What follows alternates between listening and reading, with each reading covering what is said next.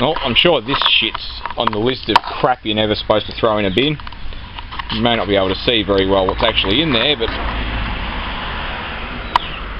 quite a lot of weight actually. We've got the lawnmower engine that's well fucked. Got a Hyundai rocker cover. You got all sorts of shit.